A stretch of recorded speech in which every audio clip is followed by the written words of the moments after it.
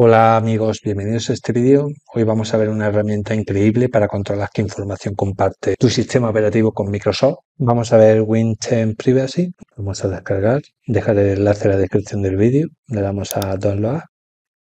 Se descarga en comprimido, por lo tanto botón derecho y extraer todo.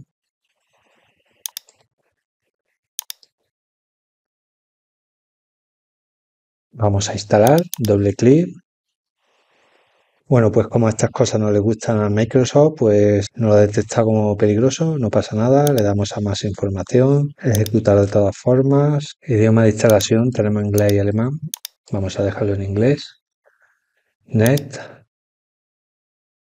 aceptamos, le vamos a dar a, la versión estándar, aunque si no quiere instalar nada, puede escoger la versión portable.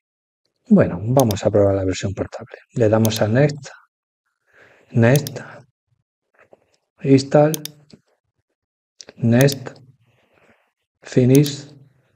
Bueno, antes de nada recomiendo crear un punto de restauración, puesto que este programa toca cosas delicadas del sistema operativo. Vas al buscador, pone restauración, aquí te aparece ya como mejor coincidencia crear un punto de restauración.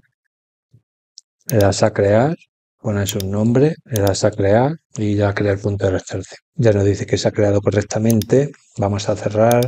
Esto está solucionado. Vamos con lo siguiente, que es arrancar el programa. Vamos a inicio otra vez y buscamos la aplicación con Win10, creo que vale, W10. Este es el archivo de instalación que hemos usado, ese no es, este. Le vamos a dar la flechita y escogemos la opción de ejecutar como administrador. Se queda como un minuto cargando, por lo menos en mi PC. El punto de restauración ya lo hemos creado, nos pide aquí que lo hagamos, pero ya lo hemos hecho antes. Esta es la interfaz, como pueden observar, es bastante simple. Si quieres cambiar el idioma lo puedes hacer. Por defecto sale en español. Tenemos diferentes secciones sobre las que Microsoft recopila información sobre nuestro sistema y cómo lo usamos. Luego ya tenemos cada elemento con su respectiva casilla que podemos marcar o desmarcar lo que está en verde es lo que se puede eliminar sin riesgo. Lo que está en amarillo afecta a ciertas funciones del sistema operativo.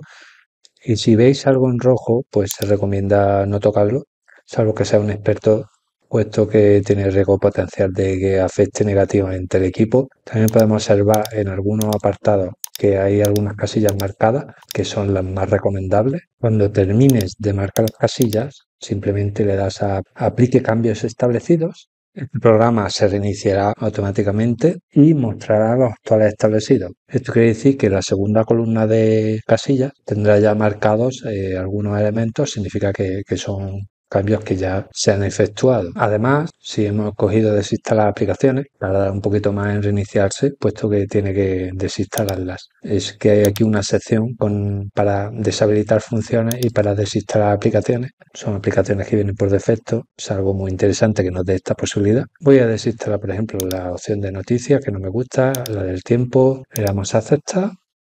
Esperar un momento y ya está haciendo el programa su trabajo. Proceso completado, ya se está volviendo a iniciar. Vamos a ir a la sección de aplicaciones.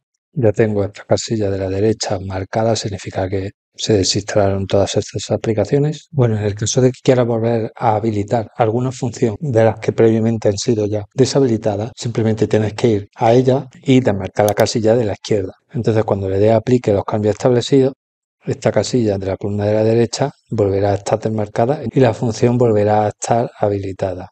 Bueno, por último decir que algunos cambios requieren el reinicio del dispositivo para que los cambios se efectúen, como por ejemplo esta opción de OneDrive. Bueno, pues espero que os haya gustado, comentarme qué os ha parecido, si lo van a usar o no. Un saludo y buen día.